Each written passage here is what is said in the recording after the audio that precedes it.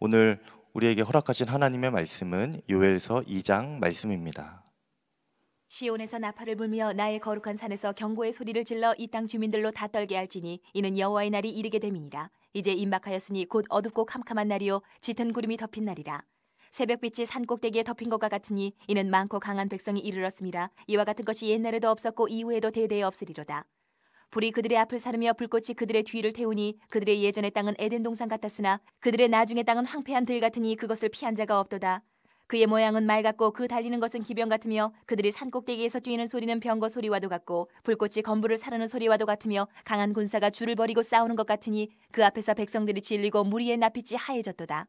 그들이 용사같이 달리며 무사같이 성을 기어오르며 각기 자기의 길로 나아가되 그 줄을 이탈하지 아니하며 피차에 부딪히지 아니하고 각기 자기의 길로 나아가며 무기를 돌파하고 나아가나 상하지 아니하며 성중에 뛰어 들어가며 성 위에 달리며 집에 기어오르며 도둑같이 창으로 들어가니 그 앞에서 땅이 진동하며 하늘이 떨며 해와 달이 캄캄하며 별들이 빛을 거두도다. 여호와께서 그의 군대 앞에서 소리를 지르시고 그의 진영은 심히 크고 그의 명령을 행하는 자는 강하니 여호와의 날이 크고 심히 두렵도다 당할 자가 누구이랴.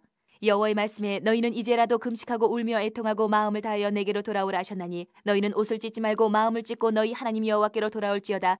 그는 은혜로우시며 자비로우시며 노하기를 더디하시며 이내가 크시사 뜻을 돌이켜 재앙을 내리지 아니하시나니 주께서 혹시 마음과 뜻을 돌이키시고 그 뒤에 복을 내리사 너희 하나님 여호와께 소재와 전제를 드리게 하지 아니하실는지 누가 알겠느냐? 너희는 시온에서 나팔을 불어 거룩한 금식일을 정하고 성회를 소집하라 백성을 모아 그 모임을 거룩하게 하고 장로들을 모으며 어린이와 젖 먹는 자를 모으며 신랑을 그 방에서 나오게 하며 신부도 그 신방에서 나오게 하고 여호와를 섬기는 제사장들은 낭실과 제단 사이에서 울미어 이르기를 여호와여 주의 백성을 불쌍히 여기소서. 주의 기업을 욕되게 하여 나라들로 그들을 관할하지 못하게 하옵소서. 어찌하여 이방인으로 그들의 하나님이 어디 있느냐 말하게 하겠나이까 할지어다 그때 여호와께서 자기의 땅을 극진히 사랑하시어 그의 백성을 불쌍히 여기실 것이라 여호와께서 그들에게 응답하여 이르시기를 내가 너희에게 곡식과 새 포도주와 기름을 주리니 너희가 이로 말미암아 흡족하리라 내가 다시는 너희가 나라들 가운데에서 욕을 당하지 않게 할 것이며 내가 북쪽 군대를 너희에게서 멀리 떠나게 하여 메마르고 적막한 땅으로 쫓아내리니 그 앞에 부대는 동해로 그 뒤에 부대는 서해로 들어갈 것이라 상한 냄새가 일어나고 악취가 오르리니 이는 큰 일을 행하였음이니라 하시리라 땅이여 두려워하지 말고 기뻐하며 즐거워할지어다. 여호와께서 큰 일을 행하셨음이로다. 들짐승들아 두려워하지 말지어다. 들의 풀이 싹이 나며 나무가 열매를 맺으며 무화과 나무와 포도나무가 다 힘을 내는도다. 시온의 자녀들아 너희는 너희 하나님 여호와로 말미암아 기뻐하며 즐거워할지어다. 그가 너희를 위하여 비를 내리시되 이른 비를 너희에게 적당하게 주시리니 이른 비와 늦은 비가 예전과 같을 것이라 마당에는 밀이 가득하고 독에는 새 포도주와 기름이 넘치리로다. 내가 전에 너희에게 보낸 큰 군대 곧 메뚜기와 느치와 황충과 팥중이가 먹은 횟수대로 너희에게 갚아주리니 너희는 먹되 풍족히 먹고 너희에게 놀라운 일을 행하신 너희 하나님 여호와의 이름을 찬송할 것이라. 내 백성이 영원히 수치를 당하지 아니하리로다. 그런즉 내가 이스라엘 가운데 있어 너희 하나님 여호와가 되고 다른 이가 없는 줄을 너희가 알 것이라. 내 백성이 영원히 수치를 당하지 아니하리로다. 그 후에 내가 내 영을 만민에게 부어주리니 너희 자녀들이 장래일을 말할 것이며 너희 늙은이는 꿈을 꾸며 너희 젊은이는 이상을 볼 것이며 그때 내가 또 내 영을 남종과 여종에게 부어줄 것이며 내가 이적을 하늘과 땅에 베풀리니 곧 피와 불과 연기 기둥이라. 여호와의 크고 두려운 날이 이르기 전에 해가 어두워지고 달이 핏빛같이 변하려니와 누구든지 여호와의 이름을 부르는 자는 구원을 얻으리니 이는 나 여호와의 말대로 시온산과 예루살렘에서 피할 자가 있을 것이며 남은 자 중에 나 여호와의 부름을 받을 자가 있을 것임이니라. 아멘. 하나님의 말씀입니다. 아, 요엘서의 가장 중심이 되는 주제는 아, 여호와의 날입니다. 1장에서 어, 메뚜기 때 재앙을 통해서 하나님은 우리에게 여호와의 날이 다가올 것이다 이렇게 경고를 해 주셨고 1장 아, 마지막 부분에 여호와의 날이 언급이 되었습니다. 그리고 오늘 2장에는 그 여호와의 날에 대한 구체적인 내용이 아, 나오게 됩니다. 아, 메뚜기 떼 재앙이 이전에는 들어보지 못했던 전대미문의 사건이었다면 오늘 2장부터 본격적으로 나오는 여호와의 날은 이전에도 이후에도 어, 들어보지도 못하고 경험해 보지 못할 아, 전무후무한 아, 유일한 아, 멸망의 날이었습니다. 2절 말씀에 곧 어둡고 캄캄한 날이요 짙은 구름이 덮인 날이라 새벽빛이 산 꼭대기에 덮인 것과 같으니 이는 많고 강한 백성이 이르렀습니다. 이와 같은 것이 옛날에도 없었고 이후에도 대대에 없으리로다 말씀하고 있습니다. 이어서 3절에서 11절을 보면 이 여호와의 날에 압도적이고 강력한 군대가 등장하는 것이 묘사되어 있습니다. 그 위세가 어느 정도인가 하면 10절에 보니까 그 군대 앞에서 땅이 진동하고 하늘이 떨며 해와 달과 별이 빛을 거둘 정도다라고 어, 기록하고 있습니다. 아, 이런 표현은 성경에서 심판의 날을 아, 나타낼 때 쓰는 표현입니다. 아, 이 멸망의 군대는 여호와께서 이끄시는 여호와의 군대이기 때문에 그 누구도 막을 수도 없고 어, 대적할 자가 없습니다. 11절에 여호와께서 그의 군대 앞에서 소리를 지르시고 그의 진영은 심히 크고 그의 명령을 행하는 자는 강하니 여호와의 날이 크고 심히 두렵도다. 당할 자가 누구이랴. 이렇게 아, 두렵고 떨리는 날이 바로 어, 여호와의 날입니다. 그런데 사실 유대 사람들은 이런 여호와의 날이 어, 자신들에게 속히 오기만을 아, 손꼽아 아, 기다렸습니다. 왜냐하면 그날에 자신들은 당연히 구원을 받게 될 것이고 원수들은 멸망할 것이라고 생각했기 때문입니다. 그런데 이것은 큰 착각이었습니다. 여호와의 날이 올 것이라는 이 말씀은 가장 먼저 어, 유대인들 자신에게 선포된 말씀이었습니다. 이것을 미리 준비하라고 하신 주님의 배려이기도 하였지만 또 한편으로 보면 그들도 여호와의 날에 주님의 심판 앞에서 어, 예외가 되지 않는다는 의미입니다. 아무런 준비 없이 여호와의 날을 맞이하면 그 누구도 이 멸망의 심판 앞에서 이 여호와의 날에 예외될 자가 없는 것이죠. 어제 메뚜기 때 재앙도 무시무시한 재앙이었지만 이것은 사실 그 누구도 막을 수 없는 멸망과 심판의 여호와의 날이 온다는 이것에 대한 경고에 불과한 것이었습니다.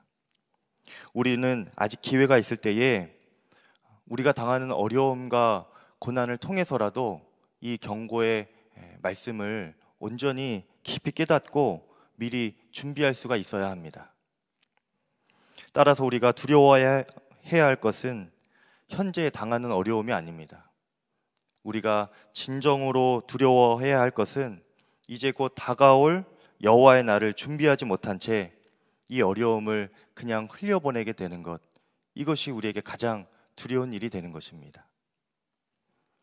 만일 우리 중에 유대 사람들처럼 여호와의 날이 자신에게 당연히 구원의 날이 될 것이다 라고 그렇게 생각하면서 아무런 준비 없이 살아가고 있는 사람이 있다면 바로 그 심령을 향해서 하나님께서 오늘 외치고 계십니다. 12절 말씀입니다.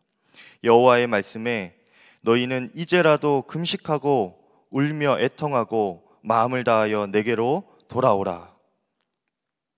하나님께서 이제라도 돌아와라 라고 하시는 이 말씀이 나 자신을 향한 아, 말씀으로 들리기를 간절히 축원합니다.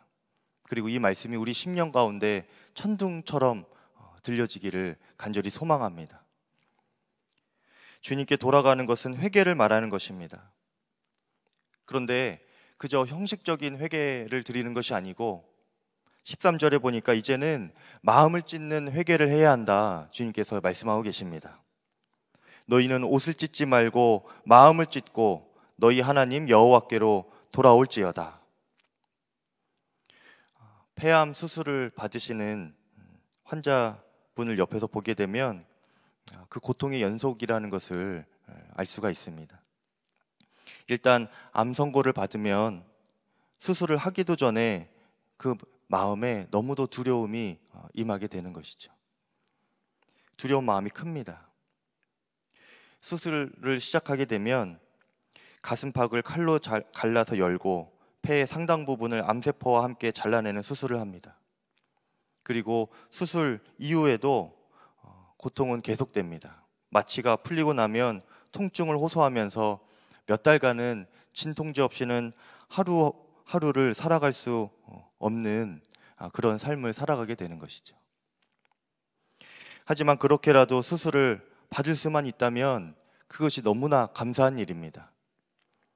그렇게라도 하지 않으면 그 이후에는 더 고통스러운 과정이 기다리고 있기 때문이죠. 우리가 해야 할 마음을 찢는 회개가 바로 이런 영적인 수술과 같은 회개여야 합니다. 회개하는 그 순간이 살을 찢는 고통보다 더 큰 마음을 찢는 고통이어야 합니다. 죄를 끊고 도려내는 것이 마음에 너무나 두려워야 합니다. 그럴 정도로 큰 회개가 우리 심령 가운데 일어나야 하고 삶의 의욕이 사라질 것만 같은 진지한 회개가 우리 심령 가운데 일어나야 합니다. 회개한 이후에도 한동안은 회복의 시간이 필요할 만큼 큰 영적인 수술과 같은 마음을 찢는 회개가 우리에게 있어야 하는 것입니다. 그래야 더 큰 고통으로 들어가지 않을 수가 있습니다. 여러분 중에 그렇다면 무엇을 회개해야 할지 구체적으로 알지 못합니다. 이런 분들이 계시다면 그 기준은 이것입니다. 하나님께서 우리에게 너희가 이제라도 돌아와라. 이렇게 말씀하셨다는 것은 우리가 떠난 자리가 있다는 것입니다. 그리고 우리가 지금 하나님을 떠난 상태라고 주님은 말씀하고 계신 것입니다. 그렇다면 우리가 하나님을 떠난 그 자리를 우리가 다시 기억해 낼 수 있어야 하겠죠. 그리고 그것으로 인하여서 하나님께 나아가지 못한 삶이었다면 이제는 그것을 끊어내고 하나님께 나아가는 삶으로 방향을 전환하는 것입니다. 예를 들면 여러분의 성경 읽는 시간을 빼앗는 것이 무엇인가요? 기도할 시간이 없을 만큼 더 우선순위에 두고 있는 것이 무엇입니까? 스마트폰과 같은 습관들을 끊는 것에서부터 시작해서 일 중독과 성적인 중독, 게임 중독, 끊어야 할 관계들까지 다양할 것입니다. 또 어떤 이들은 사람과의 관계가 막혀 있어서 주님과의 관계도 막혀 있는 분들이 혹 계실지도 모르겠습니다.